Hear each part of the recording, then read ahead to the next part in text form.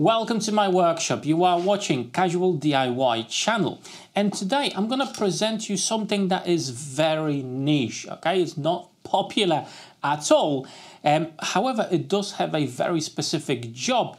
And if you need a tool to do that job, well, this could be the perfect tool for you. Mainly is the infrared laser, okay? This one is from Longer, 2 watts of power, don't need much more, it's only for engraving. And that will fit the B1 version of the laser that Longer has and the Ray 5 as well. Now, what can you actually do with that type of a laser? Well, if you already played around with diode lasers, you know they will not engrave anything in brass or copper.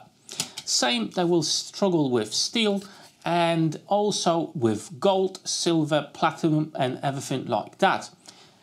This is where this module comes into play. If you are working with jewelry and you want to engrave something and make patterns, well, this is the tool for you. Let me just take you through the process of changing the modules on the B1 machine. I'm going to show you the whole process, very quick and simple, and then we're going to run some tests so you can actually see what a module with 2 watts can achieve and what engraving quality we can get. So the normal lasers, they are blue lasers. This one is red and the spot size of this is absolutely tiny 0.03 by 0.03 which means you can get to much higher DPI and quality of engraving and hopefully I'm going to show you that in today's video. In the upgrade package, you obviously do get the module itself. You got a new power brick, uh, some cables, instructions, and uh, an adapter for the uh, motherboard just over here, and some bits and pieces. First of all, I'm just gonna remove the old module. Next, I'm gonna disconnect all the wires. With the machine upside down, we're gonna remove the Y motor wiring. And to help us out with this task, I'm just going to remove this plastic cover. It's just going to be a little bit easier. Now we've got access over here, but we need to take off uh, the pulley. So on the other side, I'm going to remove the tension fixture.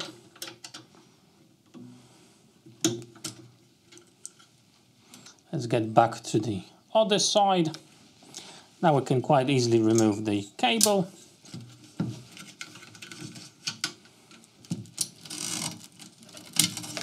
And there we go, that's the old cable out. And in the same way, we need to install the new one. All the bits and pieces I'm gonna thread through first.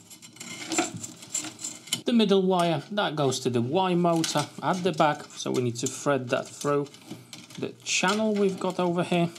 And we can connect it back up.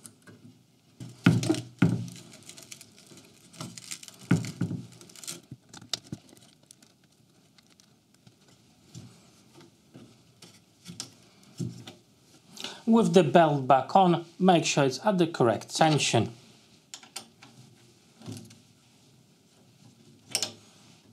And we can now install back that plastic cover. Now let's connect the rest of the wires and install the module. With everything in place, make sure the module has got free movement, extend it fully and then do some cable management so the cables are not in the way. Well, I have almost forgot to swap the adapter on this. That's what you get in the package as well. So uh, let's quickly swap that over. I'm just going to take out the main wire here. And we're just quickly going to change this over.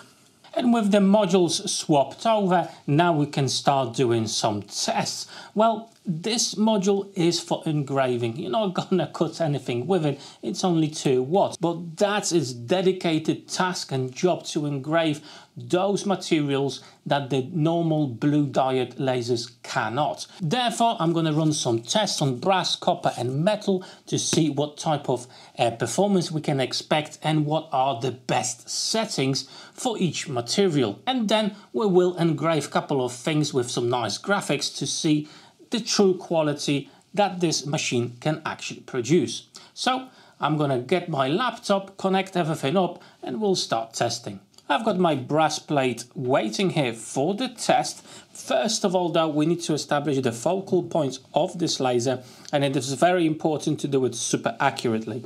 On the side here, you've got a foot that retracts and as you can see, that is not the correct position of the foot.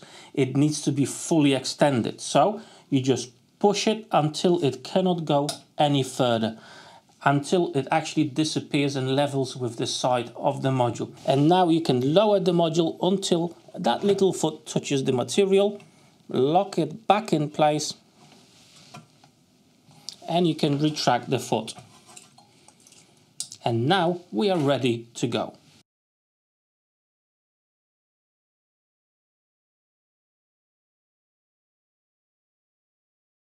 Okay, let's have a look at the results on brass. And I have to say, look at that, 100% power, 500 millimeters per minute. It's really dark. You can see different colors in this row. And you can see that it is getting lighter and lighter over here, but still, even at 20% power, 4000 millimeters per minute, it still manages to engrave brass with no major issues. So that's good going. And look at the uh, quality on the engraving itself on the letters. Now this is done in 300 dpi, but you can go a lot higher than this. The maximum DPI you can go with this module is 850, so you can get some immaculate engraving. We will test that a little bit later on uh, when we're going to be engraving some graphics, but now let's run the same test on copper.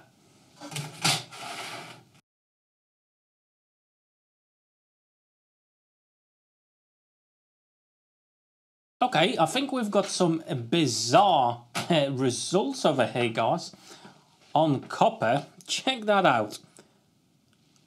100% at all the speed settings. There's like nothing in the middle. Is it creating too much heat? As you can see the rest of them, you can actually see different types of colors. A little bit greenish here, going into blue to the top. I'm not sure if the camera will catch this. In the middle, obviously absolutely fantastic. 40% at 3000 looks great. But uh, that's a little bit bizarre. Tell you what, out of curiosity, I'm going to do 100% power just on the side here, just to see if it was something that I've done, wrong settings or something. Let's have a look again. And now, well, we did manage to get something at 500 millimeters per minute, 100% power. But then again, with the higher speeds, not much in the middle. So, uh, yeah, a bit strange reaction of uh, brass to 100% power of the laser. However, the rest of them look very, very good. So it's a good test to do to know exactly what you can expect at what settings. This will be very helpful. Next, a normal piece of steel.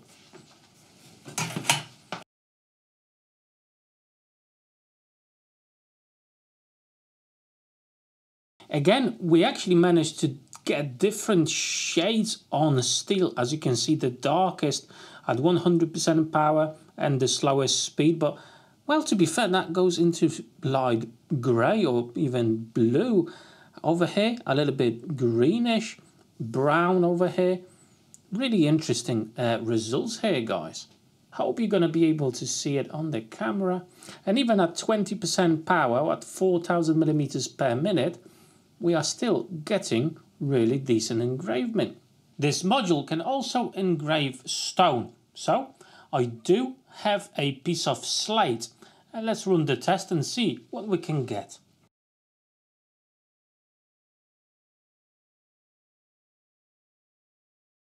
Really interesting results over here guys. Look at the different shades depending on power and speed from this yellowish to white right up to grey.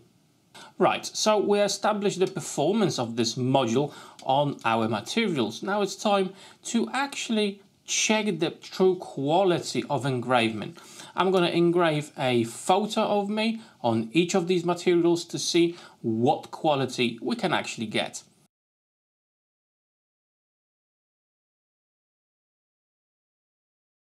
Well, I have to say, I am well impressed with this. It, that is super stunning. It's actually really hard to show on the camera because of the reflections, but the quality is absolutely insane. Never seen anything like this, guys. Let's do the same thing on brass.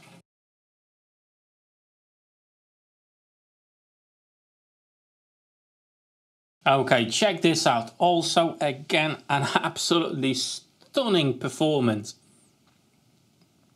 Really, really incredible. Okay, so both of these, the brass and the copper, they were run at 500 dpi. I want to try 800 dpi on a piece of slate. Let's see what we can get with that.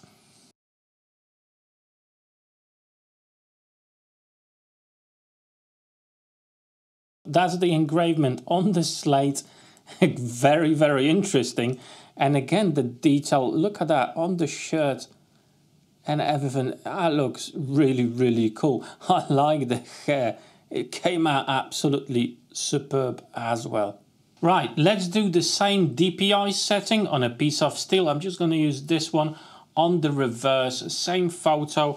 I think I'm going to go with 3000 millimeters per minute, 80% power, and as I said, 800 dpi.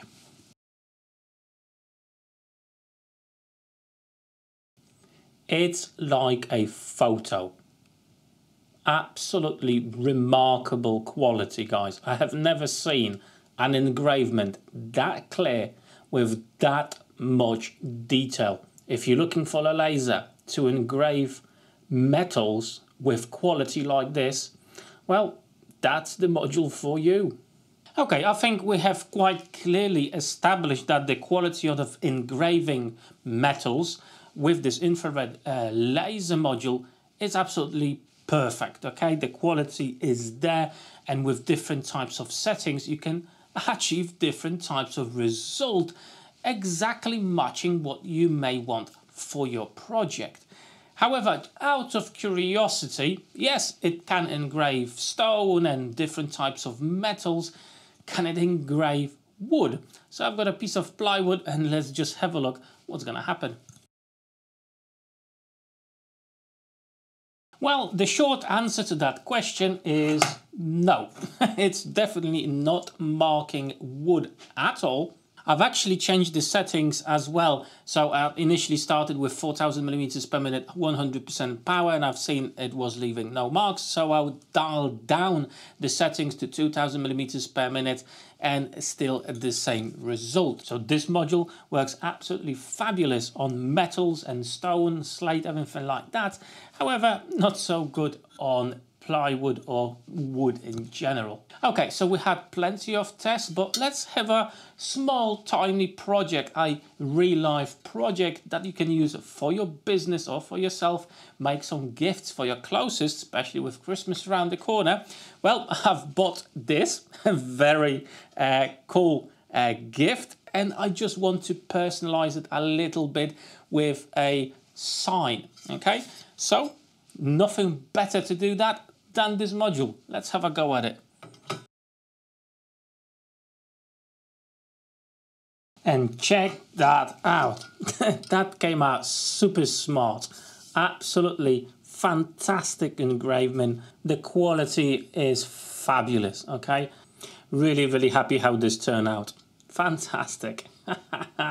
If you are thinking about engraving, for example, rings from gold or from silver, you can get a rotary accessory for the B1 frame and you should be able to do just that. So it gives you another option of a product you can make and sell to your potential customers. But even simple things like this, you know, it opens an opportunity for a business.